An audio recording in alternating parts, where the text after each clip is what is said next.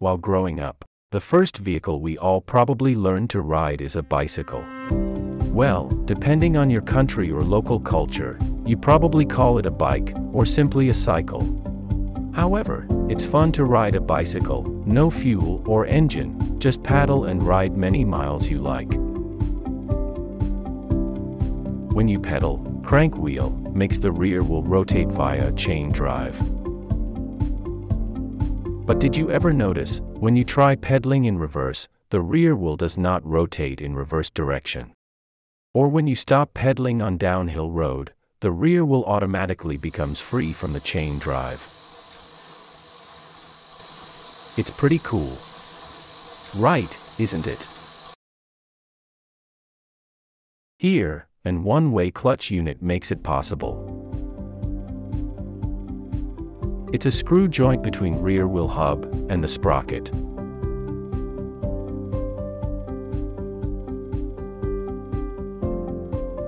The sprocket has one inner race or sometimes called cone, and one outer race, known as cup.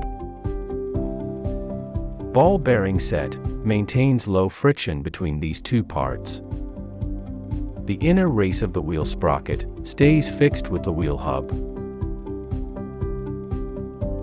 So, it always rotates as a single unit. But, the main teeth are located on the outer race. When you pedal forward and rotate the big crank wheel, the crank wheel pulls the chain. At the other end, chain motion makes the wheel sprocket's outer piece rotate clockwise. As wheel hub directly linked with inner race, here, outer piece need to transfer motion to the inner piece.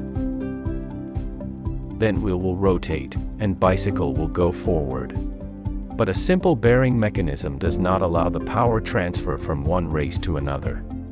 That's why a bearing is used at the first place, to reduce rolling friction between two machine parts. Well, this wheel sprocket is not a simple bearing, it's a one-way clutch bearing. The secret lies inside the sprocket. At inner side, a ratchet teeth ring is fixed with the outer race,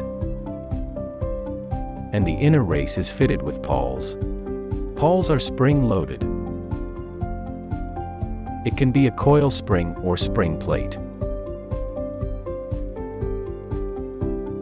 If you push the pawls towards inner race, spring force push it outward. Spring force maintains constant pressure on the pawl pieces, and pawls stay in contact with the ratchet teeth. When you applying pedal pressure on the crank wheel, the chain pulls the outer race of the wheel sprocket. As soon as ratchet teeth of the outer race tries to rotate clockwise, pawls get locked into notch sections of the teeth. Now, outer race forcing the inner race to rotate along with it. Thus, pedal force is transferred to the wheel hub through these tiny pawls. As a result, wheel rotates and your bike starts moving forward. If you try pedaling in opposite direction, that means when the wheel sprocket is rotated in the opposite direction. A wheel is in contact with the ground, or already with forward motion, will simply resist reverse rotation. Because of that, ratchet teeth surface will try to slip against pawl's surface to rotate backward. Pawls will be pushed inward due to cam action. And simultaneously, spring keeps pushing the pawls outward, this repetitive hitting action generates a particular sound. You can hear it when you pedal in reverse direction. In this situation, inner race does not receive braking force to stop, so the wheel keeps spinning forward.